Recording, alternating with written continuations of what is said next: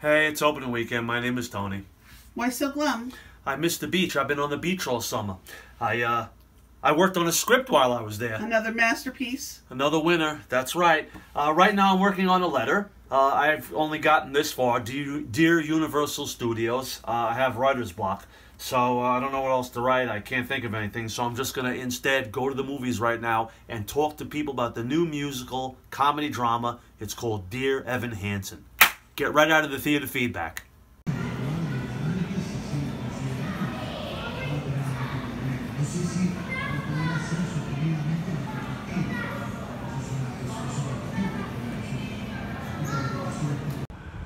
So I just found my my buddies here. You guys, uh, you two, you just saw Dear Evan Hansen. You just literally came out of the theater. How was that? I thought it was really, really good. Yeah. Was it was it like a musical or was it like a comedy drama?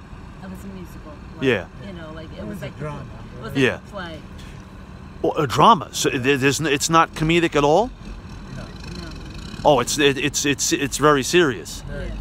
It's based on a Broadway play, which I never. Do, were you guys aware there was a Broadway Oh, play? yeah, I, I was. No, but I knew looking at it, it could have been a play. It was, yeah, it was, and, and Ben Platt was really good in it, and so were the other people that were in it. Yeah. Really quick, what's the gist of it? He uh he's pretending to like.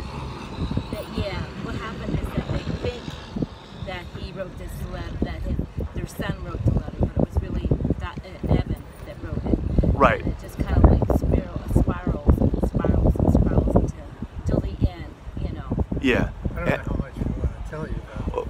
Well, you know, a lot of it is in, is in the trailer. I, I didn't see all the trailer, but I saw him like he had like a cast, Yeah. yeah. or is it like the other guy? uh, Like the guy The- the- passes away. Uh, uh, in the beginning, yeah, yeah. In the beginning, he, uh, The guy that passes away signed his, His cast. on, on the other guy's yeah, and he took a letter that he was He writing. put his to, own name. Yeah, and he was taking, Right. He took a letter that he was writing to his therapist, that guy that that, uh, you know, Not the Evan. guy that died. Not the guy that died, but uh, Evan. Evan was writing a letter to his therapist, and then Connor took it out of the printer, and then he was it was left in, in him when he he, uh, He had it passed on away. his body when he So killed then everybody thought that he was Connor's friend. Him. Yeah. So he he sort of like it was like stolen valor, Yeah, almost he like wasn't trying, yeah. He wasn't trying to. It was that he was caught up in it. He just he just he just went with it. Right. Yeah. He he, he, he didn't really want to. you Right. know. Well, he sort of it meant so much to the Connor's parents. when Right. they- When they Yeah. figured Right. Yeah, that I saw in the trailer. son had a friend. Yeah. yeah But the movie itself is uplifting.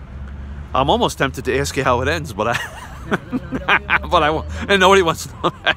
It was good though. It really. It was good. You recommend I, it? I liked it. Yeah, because I, I heard somebody say today that it wasn't like getting good reviews or. Oh really? See, I haven't even read the, read anything about the reviews. Well, I don't it's go by the reviews. And actually Yeah, you should. Me.